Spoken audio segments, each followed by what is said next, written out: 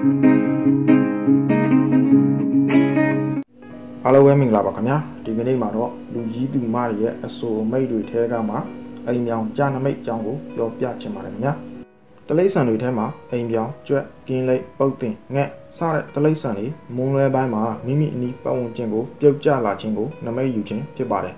နေမိုးမတက်မီအချိန်ကတော့အကျိုးပြစ်မရှိပါဘူးမုံလွဲပိုင်းမှာနမိတ်တက်မှတ်ပြီးယူခြင်းဖြစ်ပါတယ် အိမ်ပြောင်ကမိမိရဲ့အရှိကိုကြာရင်လက်ကြီးရအံ့အနောက်ကိုကြာရင်အောင်မြင်အံ့လက်ရဘက်ကိုကြာရင်အပူဇော်ခံရအံ့လက်ဝဲဘက်ကိုကြာရင်ငင်းခုံခိုင်းရံပွားအံ့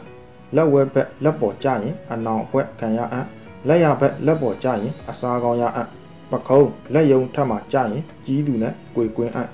လက်ဝဲခြေပုံမိုးပေါ်ကြာရင်အမျက်ပွားအံ့လက်ရခြေပုံမိုးပေါ်ကြာရင်ချစ်သူရအံ့ခြေတလုံးထက်မှကြာရင်မြတ်တော်လိုက်ရအံ့ ပေါင်ထက်ကိုကြာရင်ตาကောင်းရအံ့ခါထက်ကြာရင်အဝတ်ပစိုးရအံ့ချက်ပေါ်ကြာရင်အစာရည်စာပေါ်များအံ့ရင်ဘတ်ထက်ကိုကြာရင်ရွှေငွေရတနာရအံ့သားမြတ်ထက်ကိုကြာရင်သမီးကညာဝင်အံ့လေပင်ထက်ကိုကြာရင်အပိုးထက်ရတနာဝေရအံ့မေးမုတ်စိတ်ထက်ကိုကြာရင်ဇနီးခင်မွန်ရအံ့ပါနားပေါ်ကြာရင်ငယ်သူနဲ့ကြွေကွင်းရအံ့ဥကောင်းထက်မှာကြာရင်အကြီးကဲဖြစ်အံ့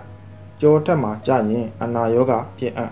ဒီနေရာမှာမကောင်းတဲ့နမိတ်နဲ့ကြမယ်ဆိုရင်နေမကူးမီတယုံကင်မိုးနဲ့ခေါင်းလျှော်ရေချိုးပါလို့ရှေးလူကြီးတွေကဆိုမိတ်ခဲ့ကြပါတယ်